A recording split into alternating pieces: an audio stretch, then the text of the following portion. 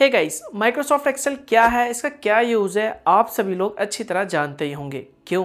और आपको भी थोड़ा बहुत माइक्रोसॉफ्ट एक्सेल यूज़ करना तो आता ही होगा। लेकिन क्या आप भी उनमें से एक हो जो ज़्यादातर माइक्रोसॉफ्ट एक्सेल इस्तेमाल करते वक्त माउस का इस्तेमाल करते हो?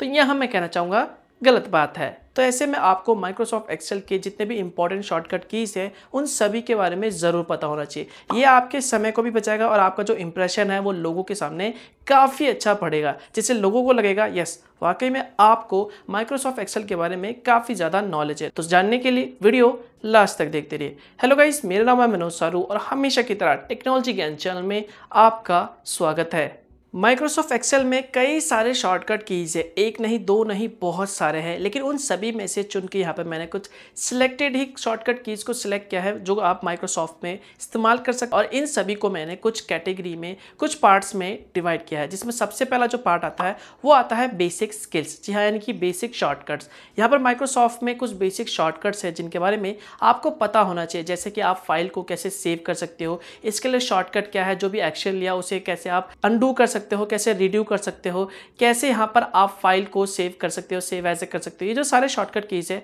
वो आपको पता होना चाहिए। तो माइक्रोसॉफ्ट एक्सेल बेसिक में जो सबसे पहला शॉर्टकट की आता है, वो आता है कंट्रोल एन जी हाँ इसकी मदद से अगर आपको कोई एक नया वर्कबुक ओपन करना है, कई लोग होते हैं नया वर्कबुक ओपन करने के लिए सिंपल सा फ़ाइल पे क्लिक करते हैं, उसके बाद न्यू पे जाते हैं और उसके बाद जो भी फ़ाइल है वर्कबुक है, उसे सिलेक्ट करना होता है, उसके बाद आपका जो एक नया वर्कबुक ओपन हो जाता है। लेकिन यहाँ पर आप एक सिंपल सा शॉर्टकट की इस्तेमाल कर सकते हैं, सीधा कंट्रोल एन दबाएँगे तो आपके एक्सेल में एक और नया जो वर्कबुक है, वो ओपन हो जाएगा। अब इससे आपका समय भी बचेगा। नेक्स्ट शॉर्टकट की है कंट्रोल ओ जी हाँ इसकी मदद से आप एक्सेल फ़ाइल में किसी भी तरह के एग्जिस्टिंग जो भी एक्सेल फ़ाइल आपने सेव कर रखा है या फिर जो भी रिसेंट फ़ाइल है, अगर आप उन्हें ओपन करना चाहते हैं तो सिंपल सा आप अपने कीबोर्ड में कंट्रोल ओ दबाएँगे तो वहाँ पर जो एक्सेल फ़ाइल है, जो एग्जिस्टिंग एक्सेल फ़ाइल है, वो ओपन हो जाएगा। उसके बाद आप किसी पर भी क्लिक करके उसे ओपन कर सकते हैं।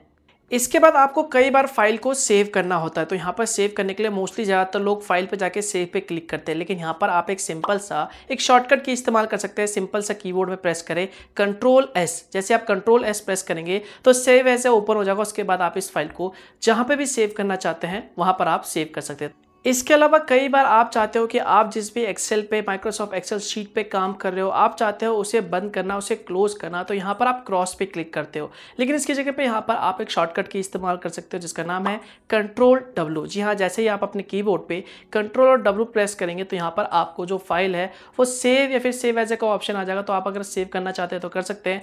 इसके बाद जो नेक्स्ट शॉर्टकट की आता है बेसिक स्किल्स में, जो कि है कंट्रोल जेड और कंट्रोल वाई जिसे हम बेसिकली अनडू और रीडू कहते हैं। And I am pretty sure आपको इन सभी का जो यूज़ है, वो ज़रूर पता होगा। तो अभी तक मैंने आपको जो भी शॉर्टकट कीज़ बताई, ये सारे बेसिक स्किल्स थे बेसिक शॉर्टकट कीज़ थे, जो हर जगह इस्तेमाल किया जाता है और आपको इन सभी के बारे में पहले से ही पता होगा। लेकिन अब मैं आपको जो माइक्रोसॉफ्ट एक्सेल शॉर्टकट कीज़ बताने वाला हूँ, ये बहुत ही यूज़फुल है और बहुत ही कम लोगों को पता है, जिसका नाम है टैब के बीच में स्विच करना। जी हाँ माइक्रोसॉफ्ट एक्सेल में बहुत सारे टैब है, जैसे कि हो गया होम हो गया इंसर्ट हो गया।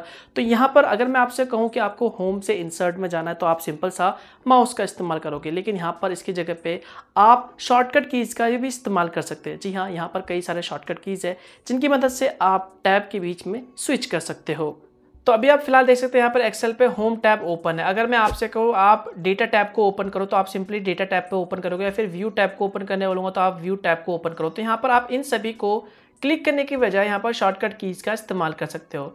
फॉर एग्ज़ाम्पल यहाँ पर आपको सबसे पहले फ़ाइल मेन्यू को ओपन करना है, यानी फ़ाइल टैब को ओपन करना तो यहाँ पर आप सिंपल से अपने कीबोर्ड पे ऑल्ट एफ़ प्रेस करेंगे तो जो फ़ाइल टैब है, वो ओपन हो जाएगा, जैसा कि आप देख ही सकते हैं। नेक्स्ट जो शॉर्टकट की आता है, जिसका नाम है ऑल्ट एच जी हाँ इसकी मदद से अगर आपको होम टैब पे जाना है एच एच का मतलब होता है होम ध्यान रखें, जितने भी टैब के बीच में आपको स्विच करना है, इसके लिए आप ऑल्ट की के साथ कॉम्बिनेशन यूज़ करोगे। तो यहाँ पर होम के लिए ऑल्ट एच तो यहाँ पर आप होम पे आ जाओगे, ठीक है? इसके बाद अगर आपको इंसर्ट टैब में जाना है तो सिंपल सा इंसर्ट टैब के लिए ऑल्ट प्रेस करो और एन प्रेस करो।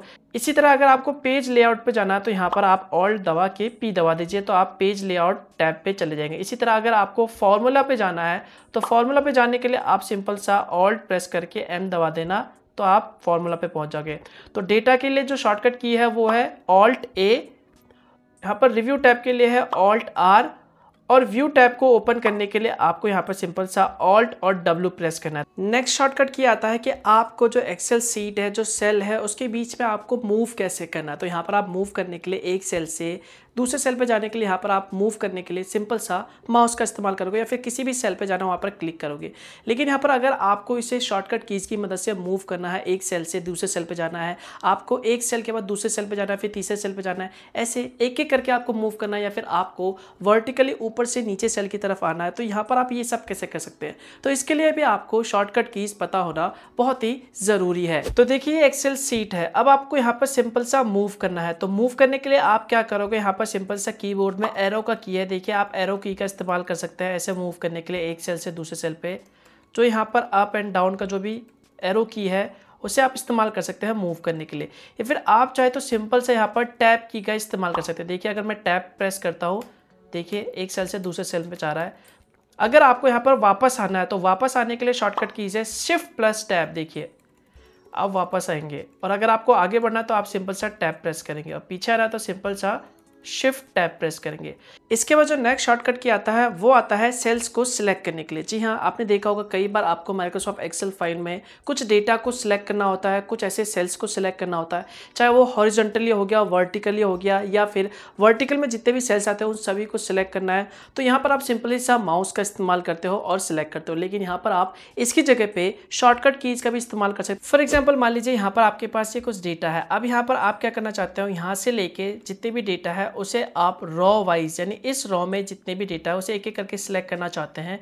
तो यहाँ पर सिंपली आप शिफ्ट प्रेस करिए और उसके बाद यहाँ पर जो भी एरो राइट साइड का जो भी एरो है, उसे प्रेस कर दीजिए। देखिए, जैसे आप राइट साइड का एरो एक एक करके प्रेस करते जाएँगे धीरे धीरे तो ये जो एरो है, वो आगे बढ़ता जाएगा और जितने भी इस रो में जो भी डेटा है, उसे सिलेक्ट करता जाएगा। अगर आपको बैक करना है तो यहाँ पर सिंपल सा आप जो भी लेफ़्ट साइड का जो की है, उसे प्रेस कर सकते हैं। अगर आपको नीचे आना है वर्टिकली डेटा को सिलेक्ट करना है तो यहाँ पर आपको डाउन का ऑप्शन मिल जाएगा, देखिए। तो ये जो की है, इनकी मदद से आप जो भी डेटा है, उन्हें आप रॉ वाइज या फिर कॉलन वाइज या फिर कह लो हॉरिजेंटली और वर्टिकली सिलेक्ट कर सकते हैं।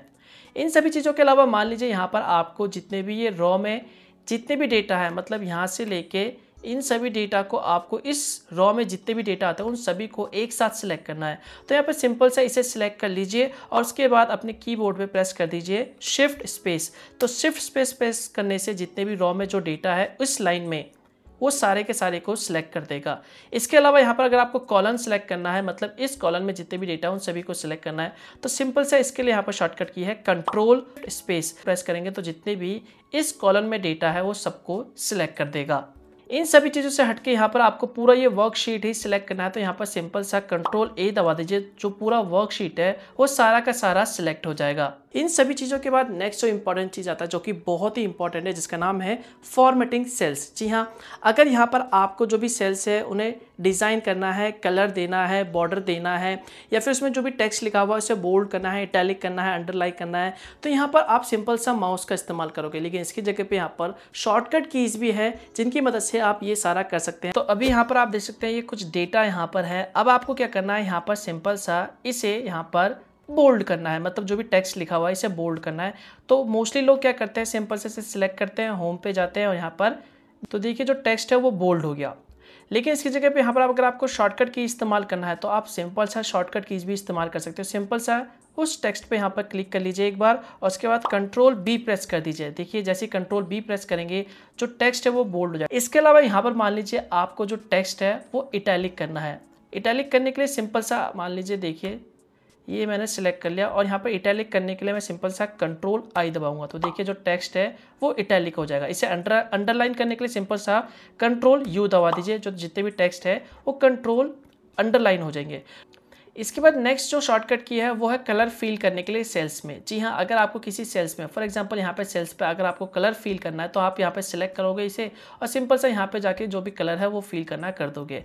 लेकिन इसकी जगह पे यहाँ पे आपको शॉर्टकट की इस्तेमाल करना है तो सिंपल सा आप इसे यहाँ पर क्लिक करोगे सिलेक्ट करोगे और सिंपल सा यहाँ पर ऑल्ट एच एच प्रेस करोगे तो यहाँ पर जो कलर है, वो ओपन हो जाएगा डायरेक्टली उसके बाद यहाँ पर आप जो भी कलर सेल्स में भरना चाहते हैं, वो भर सकते हैं। इसके बाद जो नेक्स्ट शॉर्टकट की आता है जिसका नाम है ऑल्ट एच और बी जी हाँ इसकी मदद से अगर आप यहाँ पर किसी भी डेटा के बीच में जो भी बॉर्डर है, वो ऐड करना चाहते हैं तो यहाँ पर सिंपल सा आप ऑल्ट एच और बी प्रेस करेंगे तो यहाँ पर जो भी बॉर्डर का जो मेन्यू है, वो ओपन हो जाएगा। उसके बाद यहाँ पर आप देखिए, कोई सा भी सिलेक्ट कर सकते हैं ऑल बॉर्डर चाहे तो देखिए। तो सभी जगह पे यहाँ पर जो बॉर्डर है, वो सिलेक्ट हो गया। इसके बाद जो नेक्स्ट शॉर्टकट की आता है, वो भी बहुत यूजफुल है। मान लीजिए यहाँ पर जो भी डेटा आपने सिलेक्ट कर रखा है, इन सभी को आपको आउटलाइन देना है एक सिंगल लाइन का। मतलब आपको चारों तरफ़ बॉर्डर बनाना है। तो यहाँ पर इसके लिए एक शॉर्टकट किया है, जिसका नाम है कंट्रोल शिफ्ट और एंड प्रेस करना होगा आपको। तो जैसे आप ये प्रेस करेंगे तो यहाँ पर आप देख सकते हैं, चारों तरफ़ ये बॉर्डर बन गया। अब यहाँ पर आपने फॉर्मेटिंग सेल्स करना भी सीख लिया है कि सेल्स में टेक्स्ट को कैसे बोल्ड करते हैं इटैलिक करते हैं अंडरलाइन करते हैं, कैसे सेल्स पे कलर फील करते हैं, कैसे बॉर्डर अप्लाई करते हैं शॉर्टकट कीज़ की मदद से, कैसे आउटलाइन करते हैं, ये सारी चीज़ें अब आपने बहुत आसानी से सीख लिया इन सभी चीज़ों के बाद यहाँ पर एक और चीज़ सबसे इंपॉर्टेंट आता है, वो ये है कि कई बार आपने देखा होगा जो भी एक्शल सीट होती है, वहाँ पर आपको जो भी सिस्टम का करंट डेट है टाइम है वो ऐड करना होता है। तो इसके लिए शॉर्टकट की क्या है? ये भी आपको ज़रूर पता होना चाहिए। तो आइए ये भी सीख लेते हैं। फॉर एग्ज़ाम्पल मान लो यहाँ पर ये एक्सेल सीट है तो यहाँ पर आपको जो भी करंट डेट है सिस्टम का, वो आपको यहाँ पर ऐड करना है, ठीक है? मान लीजिए यहाँ पर ऐड करना है तो आप क्या करोगे? सिंपल सा अपने कीबोर्ड पे प्रेस करना होगा। कंट्रोल और यहाँ पर जो भी सेमी कॉलन की है, ये प्रेस कर देना। तो कंट्रोल सेमी कॉलन की प्रेस करने से जो भी आपके सिस्टम का जो भी करंट डेट है, वो यहाँ पर ऐड हो जाएगा। इसके बाद यहाँ पर अगर आपको टाइम ऐड करना है, जो भी सिस्टम का करंट टाइम है, वो आपको यहाँ पर ऐड करना है तो आपको क्या करना होगा सिंपल सा कंट्रोल शिफ्ट दबा के यहाँ पर सेमी कॉलन दबाना होगा। तो देखिए, जो भी टाइम है, वो फ़िलहाल यहाँ पर ऐड हो गया। तो देखा आपने ये कितने इंपॉर्टेंट और कितने यूजफुल शॉर्टकट कीज है, जो आप माइक्रोसॉफ्ट एक्सेल इस्तेमाल करते वक्त कर सकते हैं। आई होप आपको ये वीडियो पसंद आया होगा और इससे आपको कुछ सीखने को मिला होगा। तो इसी बात पर वीडियो को अभी तक लाइक नहीं करा तो वीडियो को लाइक ज़रूर कर देना और कमेंट करके बताना कि आपको ये वीडियो कैसा लगा। और अगर आपको मेरे में कोई भी सवाल है तो आप मुझे नीचे कमेंट कर सकते हैं या फिर आप मुझे सोशल मीडिया जैसे कि फेसबुक हो गया इंस्टाग्राम हो गया ट्विटर हो गया, वहाँ पर जाकर फॉलो करके आप मैसेज कर सकते हैं। और अगर आपको इसी तरह के वीडियोस पसंद है तो चैनल को सब्सक्राइब कर लेना, ये बिल्कुल फ्री है। और बेल आइकन पे ज़रूर दबाना, ताकि मैं जब भी कोई नया वीडियो अपलोड करूँ इसी तरह के तो उसकी जानकारी आपको सबसे पहले मिल सके। तो मिलता हूँ मैं आपको एक और इंटरेस्टिंग वीडियो के साथ। तब तक के लिए गुड बाय